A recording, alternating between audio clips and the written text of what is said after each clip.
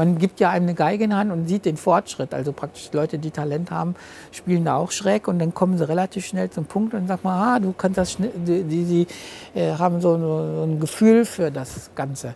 Und äh, das ist bei Innovationen auch. Das kann man schon sehen, aber man muss die Leute erstmal machen lassen. Ich kann es eigentlich nicht vorher sehen. Kann, ja, muss ja einer schon mal eine Geige in die Hand nehmen und ein bisschen äh, spielen, dass man das sieht.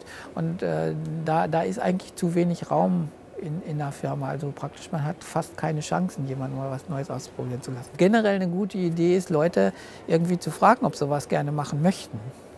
Und äh, die Hälfte winkt dann. Hm, ich kann ja als Manager fragen, ähm, wenn ich jetzt so eine neue Aufgabe habe, würdest du das gerne tun oder nicht? Also nur, nur ich will jetzt nicht irgendwie, du musst jetzt nicht erklären, ob du ein guter Mensch bist und natürlich das willst, sondern hat, macht dir das Freude.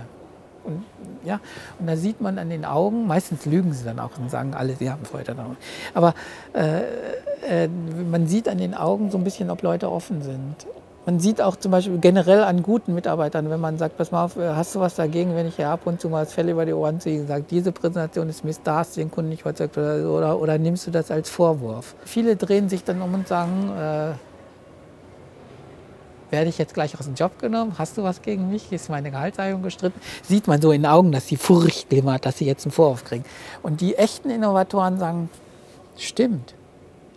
Oder sie sagen, du hast was falsch gesehen. Und dann diskutieren wir darüber, ob ich das falsch sehen darf. Also viele Kunden blicken es ja nicht. Und man kann jetzt nicht sagen, der Kunde hat Unrecht. Ich kann einfach feststellen, der Kunde hat es nicht gesehen. Und wenn er es nicht gesehen hat, habe ich es nicht richtig dargestellt. Als Innovator muss ich das so darstellen, dass die Leute mein Produkt verstehen. Und wenn ich jetzt zum Beispiel das missverstanden habe, das Produkt, kann der Mitarbeiter mir nicht sagen, ich, ich bin doof, dass ich es nicht verstanden habe. Als Kunde muss ich es verstehen und so weiter. Dann haben wir sehr wertvolle Diskussionen. Und das, das merkt man äh, bei Mitarbeitern so quasi so fast den ersten Kontakt, ob sie offen sind, neugierig und so weiter. Und, äh, praktisch solche braucht man, also die, ja, braucht man natürlich welche auch auf der Spur bleiben. Also wenn sie sich in die Idee verbissen haben, dass man das tut.